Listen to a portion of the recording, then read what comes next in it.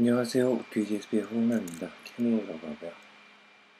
클라우드 서버를 이용한 모바일 웹데바이시스 요구를 같이 볼 텐데요. 제일 먼저 접속할 주소는 유클라우드 비즈 몰래닷컴입니다. 유클라우드 비즈닷컴으로 접속을 하셔도 되고요. 여기에서 이 서비스를 이용하려면 좀 독특한 과정이 필요합니다. 이 페이지에 보시면 SlideShare에 보시면 여기 40페이지에 클라우드 서비스 가입 절차 가지고 있는데요. 요 어, 먼저 회원 가입은 당연히 해야 되고요.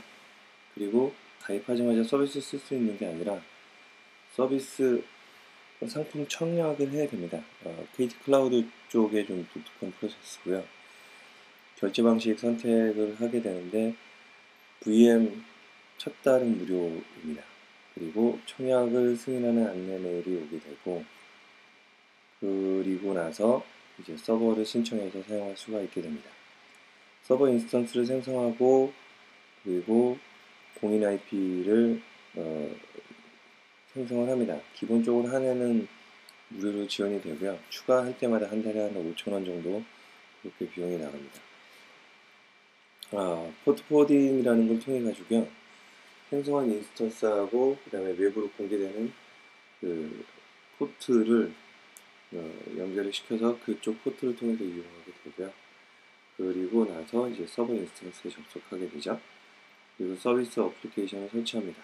그리고 load balancing이 어떤 건지, 그 다음에 부하 테스트가 어떤 건지 이렇게 추가적으로 할 수 있는데요.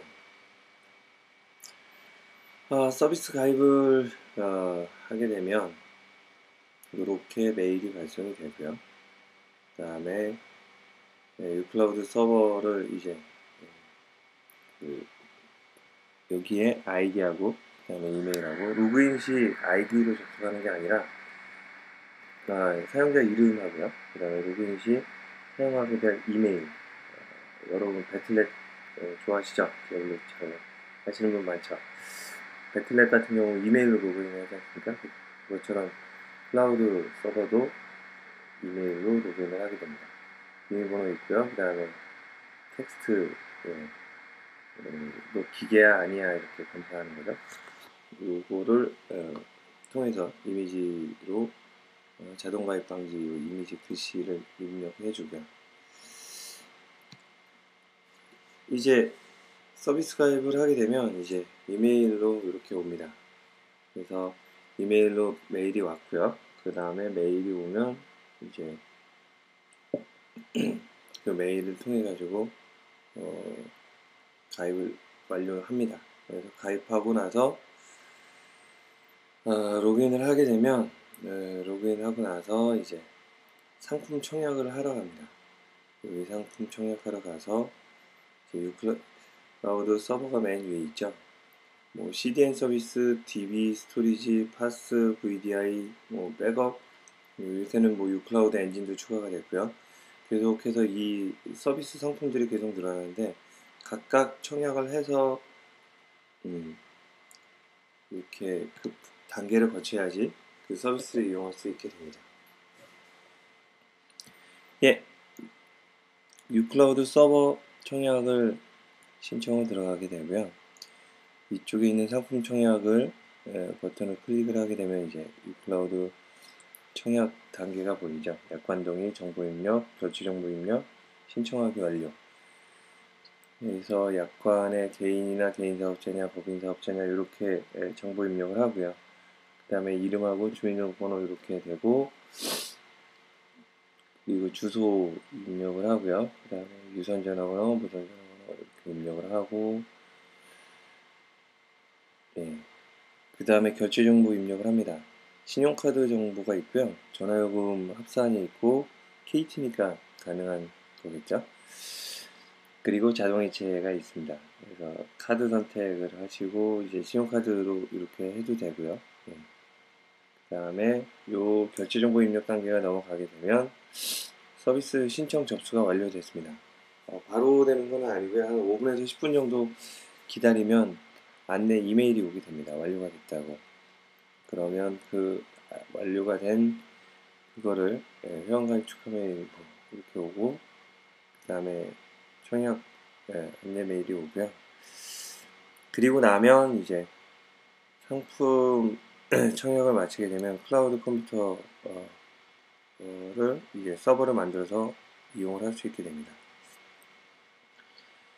트래픽이 그 버추얼 머신당 50기가까지는 월 50기가 그러니까 하루에 한 1.5기가 정도요. 하루에 30일이니까 1.5기가 정도는 무료 트래픽으로 사용이 되고요.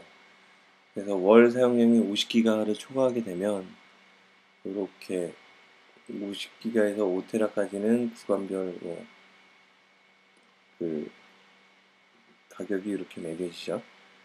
어, 5테라에서 10테라, 그 다음에 10테라에서 30테라, 30테라에서 이상 이렇게 뭐 100원, 90원, 80원, 70원 해가지고 예, 가격이 나오게 되는데 요거는 뭐 굉장히 서비스가 잘 됐을 때 그때 고민하셔도 될 겁니다. 처음에 만들어서 이렇게 테스트할 때는 트래픽이 월 50기가 넘기기가 예, 쉽지는 않을 테니까요. 일단은 요렇게 되고요. 음, 그리고 어, 디스크 추가하는 거랑 그 다음에 IP 추가하는 거 여기에 대한 금액도 이렇게 보이시죠? 그래서 청약이 진행 중일 경우에는 이렇게 페이지가 나오고요. 어, 청약이 완료됐다고 어, 이렇게 안내 메일이 옵니다. 청약이 완료됐다고 안내 메일이 오고요. 어, cs.ucloud.com 이거 예전에 쓰던 도면이고요. 어, 지금은 ucloudbiz.com으로 이렇게 들어가시면 됩니다. 예. 그 다음에 이제 서버 신청하고 어, 그 가게 됩니다. 요거는 예전에 잡았던 거랑 우분투가 추가가 됐고요. 그 다음에 무약정, 1년 약정, 시간 요금제 있는데 1년 약정이 제일 요금이 저렴하고요. 음, 월 3만 원, 그 부가세법은 3만 3천 원 정도 됩니다. 그리고 무약정일 경우에는 3만 9천 원, 월 한 4만 3천 원 정도 이렇게 비용이 나오고요. 부가세 포함시키면 4만 3천원 정도 되고요. 시간 요금제는 며칠만 쓸 때, 아, 이때 유리합니다. 한 이틀 테스트 하는데, 예, 시간 요금제, 음, 부가세 별도로 해서 65원씩 나오거든요. 시간당. 그러면 20시간이면, 10시간이면 650원이고, 20시간이면 네, 1,300원이죠. 이틀 쓰면 대략 한 1,500원, 한 3,000원 정도 이틀 사용하게 되죠. 그러면 예, 단기간으로 이렇게 할 때는 시간 요금제가 굉장히 유리한 조건입니다. 실제로 아마존의 EC2라는 서비스를 통해서 어, 아마존의 EC2라는 서비스를 통해서 제가 여기 tech trend에다 놨나요? 아마존의 EC2라는 서비스를 통해서 네, 여기 번째 페이지가 있을까요?